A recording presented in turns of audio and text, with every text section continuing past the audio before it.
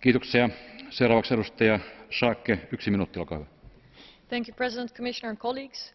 Internet governance. It is a contradiction in terms, because we should all want the global internet to remain open without unnecessary barriers. But for that to be the case, decisions on many levels must be taken the right way, and the multi-stakeholder model should be given more meaning in our times. We need EU leadership not to leave governance to Russia and China and other countries whose governments often seek to gain legitimacy at international forums like the IGF for their isolating, repressing and balkanising actions.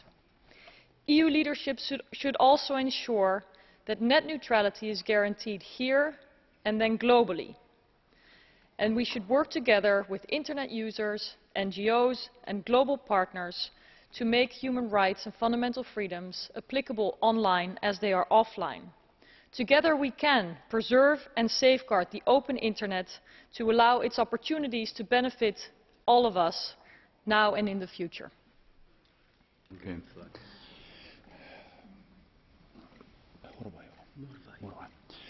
Thank you. Uh, Madam there is uh, a blue card request uh, from uh, Madam Morvai. Do you accept, accept that? Uh, right, uh, Madam Morvai, 30 seconds, please. Kedves képviselőtársnőm azt mondta, hogy Oroszország valami